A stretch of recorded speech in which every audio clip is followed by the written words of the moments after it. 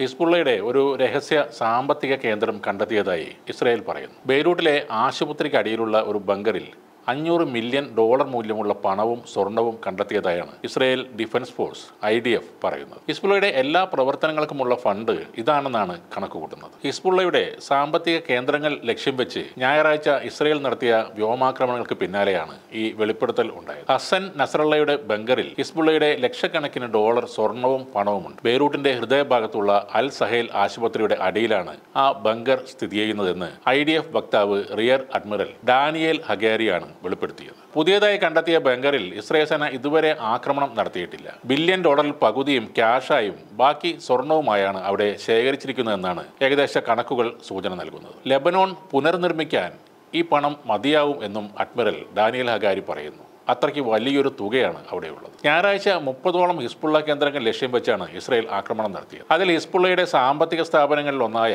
അൽ ഖാദ് അൽ ഹസനും ഉൾപ്പെടുന്നു. ചാരിറ്റി എന്ന നിലയിലാണ് ഈ സ്ഥാപനം രജിസ്റ്റർ ചെയ്തിരിക്കുന്നത്. എന്നാൽ ഹിസ്ബുള്ളയുടെ മുഖ്യ സാമ്പത്തിക സ്രോതസ്സുകളിൽ ഒന്ന് ഇതാണ് എന്നാണ് ഇസ്രയേലും ഒപ്പം തന്നെ അമേരിക്കയും ആരോപിക്കുന്നു. ദശലക്ഷക്കണക്കിന് ഡോളർ പണവും സ്വർണവും അടങ്ങിയ ഭൂഗർഭ നിലവറയാണ് പ്രധാനമായും ഈ ആക്രമണത്തിൽ തങ്ങളുടെ സൈന്യം ലക്ഷ്യം വെച്ചതെന്നും ഹഗാരി പറയുന്നു. സംഘടനയുടെ സാമ്പത്തിക കേന്ദ്രങ്ങളെ ലക്ഷ്യം വെച്ച് കൂടുതൽ വ്യോമാക്രമണങ്ങൾ തങ്ങൾ ഇനിയും നടത്തുമെന്നാണ് അദ്ദേഹം പറഞ്ഞത്. ലെബനോൺ ജനതയും ഇറാൻ ഭരണകൂടവുമാണ് ഹിസ്ബുള്ളയുടെ രണ്ട് പ്രധാന വരുമാന മാർഗമെന്നാണ് ഹഗാരി ആരോപിക്കുന്നത്. സിറിയ വഴിയുള്ള പണമിടപാടുകളും ഇറാൻ വഴി ലെബനോണിലേക്ക് കടത്തിയ സ്വർണവും ഉൾപ്പെടെയുള്ള സാമ്പത്തിക സംവിധാനങ്ങളാണ് ഹിസ്ബുള്ള സംഘം പ്രധാനമായും ഉപയോഗിക്കുന്നത്. ലെബനോൺ സിറിയ യമൻ തുർക്കി എന്നിവിടങ്ങളിൽ ഹിസ്ബുള്ള നടത്തുന്ന ഫാക്ടറികൾ ആ ഗ്രൂപ്പിന്റെ ഭീകര പ്രവർത്തനങ്ങൾക്ക് കാര്യമായ പണം നൽകുന്നു എന്നും പറയുന്നു. Unit double four double zero എന്നറിയപ്പെടുന്ന ഹിസ്ബുള്ളയുടെ സാമ്പത്തിക യൂണിറ്റിന്റെ തലവനെ ലക്ഷ്യമിട്ട് ഇന്നലെ ഇസ്രായേൽ സിറിയയിൽ ഒരു വ്യോമാക്രമണം നടത്തിയിരുന്നു. ഇറാൻ ഫണ്ട് ഹിസ്ബുള്ളയിലേക്ക് എത്തിക്കുന്നത്